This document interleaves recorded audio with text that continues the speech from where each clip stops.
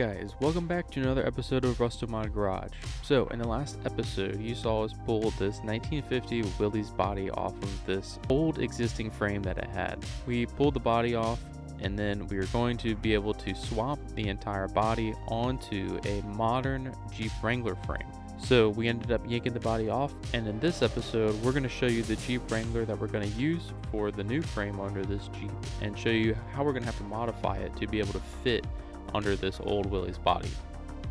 Alright, so this is the Jeep that we're going to use for the frame and it's going to be the new frame that we're going to put underneath of our old Willys body.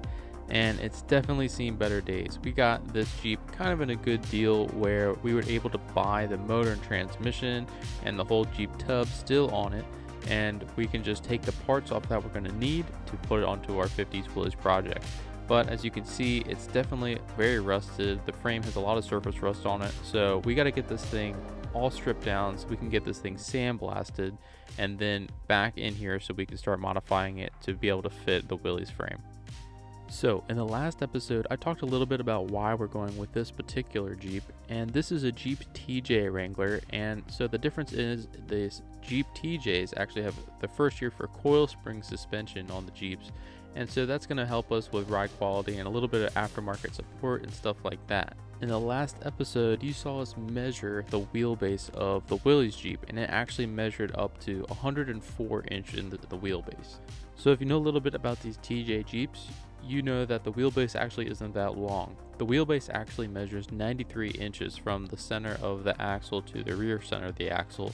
And so we're going to have to modify the frame to be able to extend it to be able to meet the 104 inches wheelbase that we need for it to fit properly under our Willys body. Now back then they actually did have two different wheelbases. They had a Jeep TJ that we have and then they had a Jeep TJ Unlimited or LJ and it's a little bit longer wheelbase and it's actually 103.4 inches in wheelbase. So that would have worked if we could find one of those but they're just very hard to find and they're very expensive if you do find them. So we're just going to cut the frame that we have and then lengthen it and then it should fit properly under our Willys body.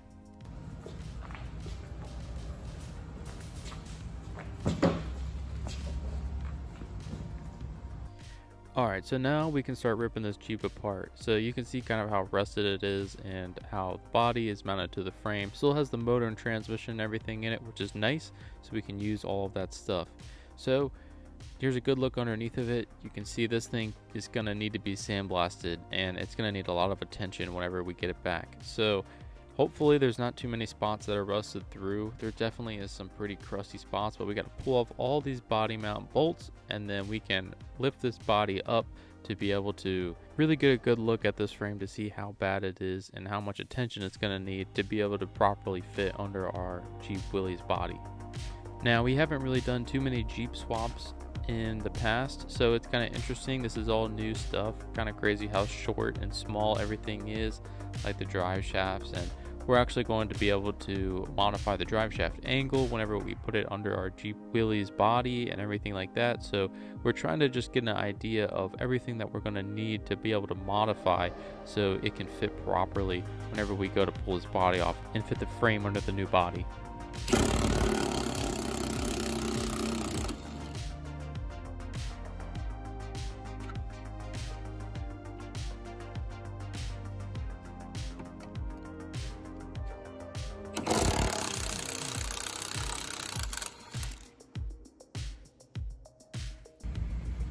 All right so we got the body mounts undone. Some of them are really rusted so we'll see if it'll come off but we got the lift under it so.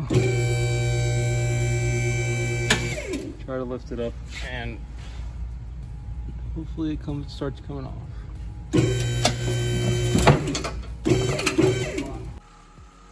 So I was struggling trying to get some of these rusted bolts out. There's two bolts on the back of the Jeep tub that go from the frame member to the back of the tub and they were rusted off in there. They actually it's a weld nut and the weld nut snapped so they both were broken in there and just spinning. So i had to cut both of them out and then trying to get the body off was just such a pain on this thing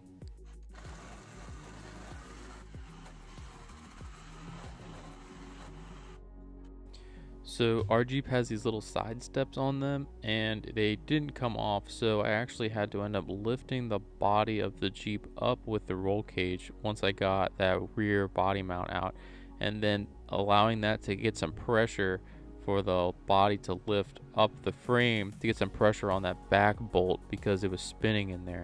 So I was thinking if I could get some leverage on the Jeep body, I would be able to twist it enough so that I could actually get an impact in there and get that back bolt out. So we'll try it and see how it goes.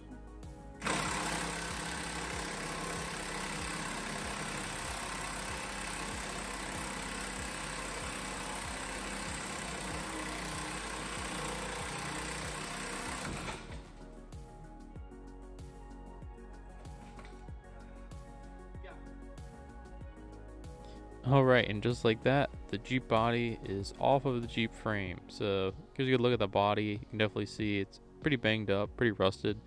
And it was a kind of a chore to get that thing off the old frame.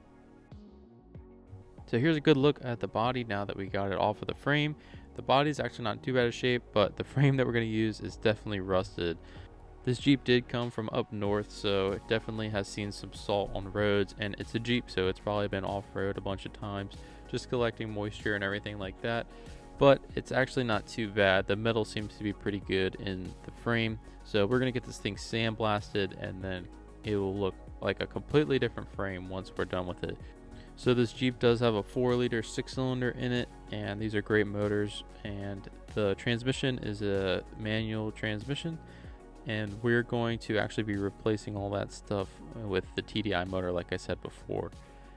The body and everything is still in pretty good shape. If anybody needs any parts off of it, maybe we still have some, let me know. Message me on Instagram or Facebook if you guys need any Jeep parts. The rest of it is all going to be stripped down. So we're going to use the axles, we're going to use all the brakes, the steering, all the suspension pieces that are on the Jeep. We will probably have to raise this up once we get the body on it because the body is a lot heavier than the old Jeep TJ body, but we're going to modify it as we go so we don't go too crazy with it right at the beginning. We're going to try to use the stock gas tank and use everything as stock as we can so that way it's a very easy swap, very straightforward. Unlike the Rambler where we had to make everything, we want to try to use as much parts of the old Jeep as we can on this so that way it's as manageable and if we have issues we can go to the local parts store and find some parts for it. Now for whatever reason my camera either lost the footage or didn't record or something but I ended up not being able to record us pulling the motor and transmission out but at this point it is actually pretty simple. We just undid the transmission bolts, undid the motor mounts and then lifted it out very easy to do, so that way we can get a better look and get this thing ready for it to be sandblasted and get it stripped down. So when we get this thing back, we can start cutting it and modifying it, and it won't be all rusted so we can weld to it. Alright, pretty productive day. We got the entire frame bare, we got the motor out, and we got the body off. So now all we got to do is strip out all the lines, everything that we can't we don't want to get sandblasted um all the brake lines fuel lines gotta take the gas tank out we don't need the bumpers uh, the shocks stuff like that that we can have bare and then it should be ready to be sandblasted so like i said before we are going to be keeping this willys body so that way we can use some parts off of it if we need to but if you guys need any Jeep parts or anything like that that we don't use, let me know down in the comments below or message me. Like I said, I'd be willing to part with all this Jeep stuff. Alright, so we got our Wrangler frame completely stripped down. We got all the brake lines and everything that would get damaged being sandblasted off, and it's ready to be sandblasted. So in the next episode, you guys will see what it looks like once it's back from sandblasting and that's going to do it for this episode. So thanks so much for watching. Make sure you like, comment, subscribe so we can continue to make awesome videos like this. And we'll see you guys once it's back from